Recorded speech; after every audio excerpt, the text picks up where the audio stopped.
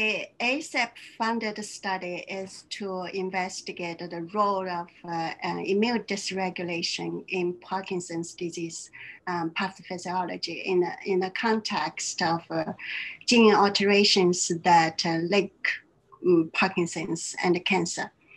Um, Parkinson's and cancer are, are very different uh, disease entities.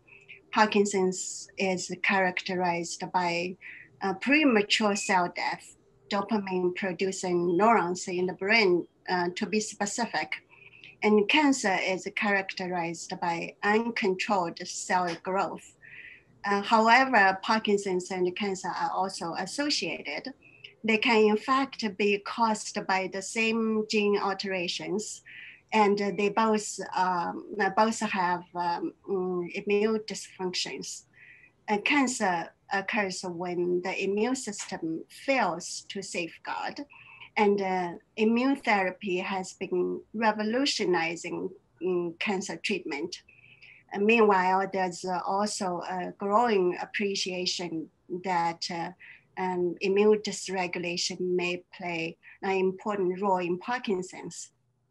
So we brought together a team of uh, experts in the fields of uh, Parkinson's and cancer uh, we will apply um, the knowledge gained from cancer research to understand how the genetic connections between Parkinson's and cancer alter natural response to immune attack and how that may lead to death of dopamine producing neurons in the brain and cause Parkinson's.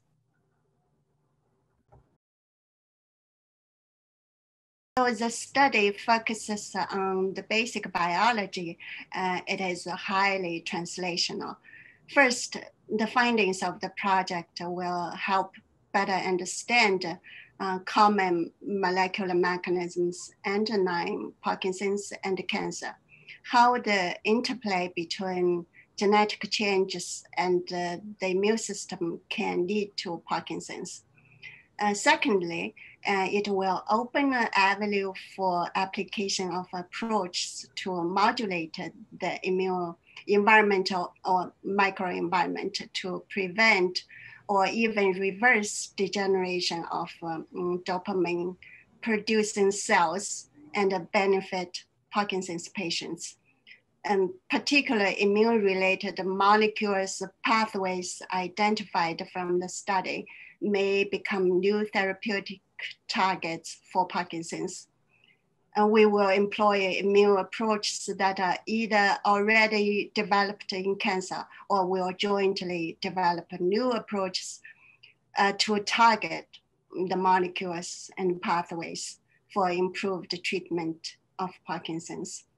And finally, our effort in bridging uh, Parkinson's and cancer will bring awareness to patients with a one condition and their doctors uh, for better surveillance, prevention, and uh, early treatment of the other condition.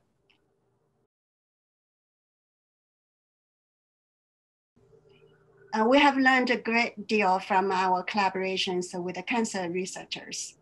We started with Parkinson's and melanoma which is uh, the deadliest skin cancer.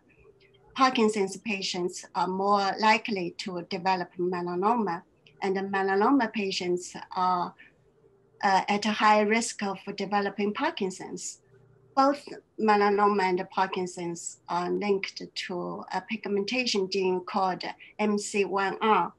We worked with a, a melanoma research group led by Dr. David Fisher here at uh, Mass General Hospital.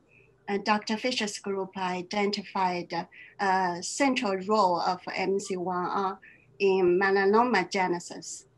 Uh, we borrowed the sophisticated tools from Dr. Fisher's study, including red-haired mice uh, bearing non-functional MC1R gene, and we found that uh, uh, the normal function of the gene is also required for dopamine producing cells in the brain. Uh, we are learning more and more from cancer research.